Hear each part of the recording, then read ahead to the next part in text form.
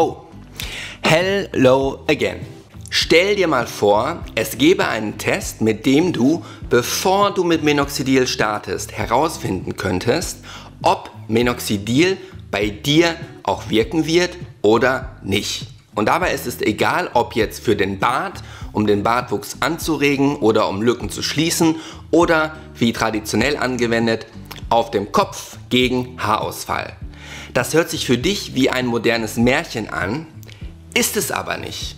Alle Infos rund um den Minoxidil Response Test erfährst du in diesem Video und deswegen empfehle ich dir unbedingt dran zu bleiben.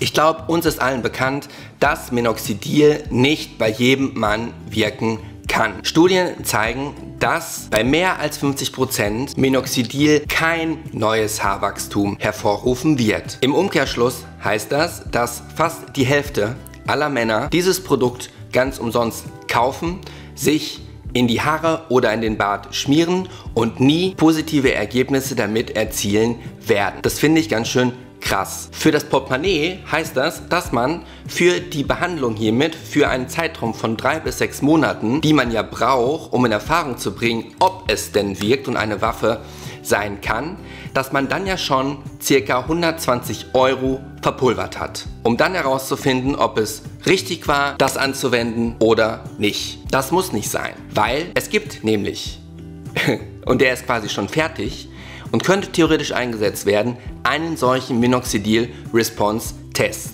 Doch bevor wir dazu kommen, nochmal ein Blick darauf, wie Minoxidil überhaupt wirkt. Denn das erklärt, wo der Test ansetzt und wie er funktioniert. Und wenn du jemanden kennst, für den dieses Video ebenfalls sehr interessant sein könnte, dann schick es ihm doch. Teil mein Video gerne mit allen, wo du sagen würdest, das macht Sinn. Der Wirkstoff, der hier drin ist, und das steht hier auch ganz groß drauf, das wissen wir, ist Minoxidil. Minoxidil, was früher mal ein Mittel zur Blutdrucksenkung war, wird heute als Haarwuchsmittel eingesetzt und es ist belegt, dass es helfen kann. Wie wirkt Minoxidil? Wenn man Minoxidil jetzt wie hier als Schaum aufträgt oder auch als Lösung, ist es erstmal der Stoff Minoxidil, der auf die Kopfhaut topisch, das heißt von außen, aufgetragen wird. Auf der Kopfhaut gibt es ein sogenanntes Enzym. Das Enzym, was wir Männer brauchen, um vom Minoxidil profitieren zu können, nennt sich Sulfotransferase. Denn dieses Enzym ist dafür verantwortlich, dass Minoxidil in Minoxidilsulfat umgewandelt wird. Und erst dieses Minoxidilsulfat löst diese positiven Eigenschaften und Reaktionen aus, die wir uns erhoffen und wünschen. Das heißt, aus Minoxidil wird aufgrund des Enzyms Sulfotransferase Minoxidilsulfat und Minoxidilsulfat führt dann dazu, dass die vielen kleinen Blutgefäße rund um der Haarwurzel, dass die stärker durchblutet werden, dass die Nährstoffe besser in den Haarfollikel kommen, dass die Papille größer wird und dann stärkere, dickere, größere und oder auch neue Haare wachsen können. Und jetzt kommt der entscheidende Punkt. Die Enzymaktivität von Sulfotransferase variiert von Mann zu Mann erheblich. Das heißt, es gibt Männer, die haben eine sehr hohe Aktivität dieses Enzyms. Infolgedessen kann viel Minoxidil in Minoxidilsulfat umgewandelt werden und deswegen gibt es auch verstärkt massive positiven Einfluss eben von Minoxidilsulfat auf das Haar bzw. die Haarwurzel. Bei den Männern, und das hat eine Studie, die ich auch in der Infobox verlinke, herausgefunden, bei jenen Männern, wo Minoxidil nicht wirkt, all diese Männer haben in der Regel eine sehr, sehr schlechte Aktivität dieses Enzyms Sulfotransferase. Das bedeutet im Umkehrschluss, ob Minoxidil bei dir wirkt oder nicht, liegt daran, wie aktiv das Enzym Sulfotransferase bei dir ist. Die Spitzfindigen unter euch stellen sich natürlich jetzt eine Frage. Warum appliziert man nicht direkt Minoxidilsulfat auf die Kopfhaut? Weil dann bräuchte man ja das Enzym auch nicht. Das ist eine gute Idee, funktioniert Leider aber nicht. Erstens, Minoxidilsulfat, wenn man das jetzt in Form eines Schaums oder einer Lösung anmischen würde, so wäre die nicht lange haltbar. Das heißt, nach sehr, sehr kurzer Zeit, nach wenigen Tagen, würde diese Lösung und das Minoxidilsulfat schon in einzelne Bestandteile zerfallen und es wäre damit wirkungslos.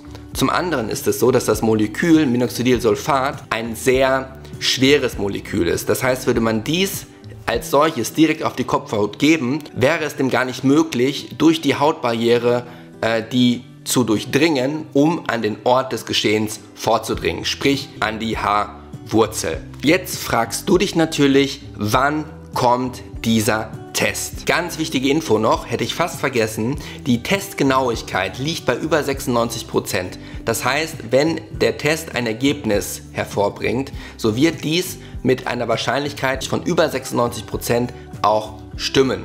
Es gibt gute Nachrichten und es gibt schlechte Nachrichten. Womit wollen wir starten?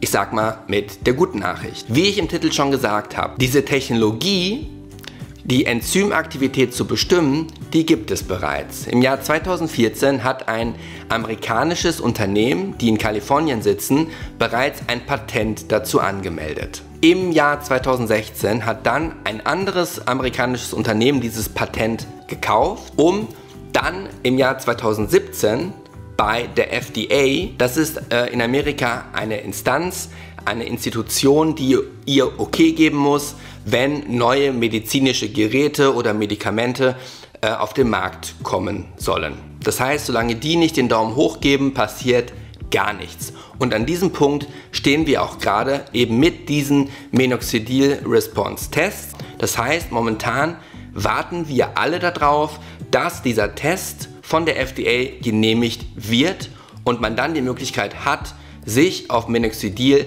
testen zu lassen, beziehungsweise darauf, ob Minoxidil bei einem wirkt oder nicht. Ich verlinke auch in der Infobox mal die Seite zu eben dieser Firma, die diesen Minoxidil Response Test erfunden hat, damit ihr auch sehen könnt, dass ich jetzt hier nicht äh, Bullshit labere, sondern dass das wirklich fundierte Informationen sind. Das heißt, alle Links zu diesem Thema, das ist natürlich alles auf Englisch, findet ihr in meiner Infobox.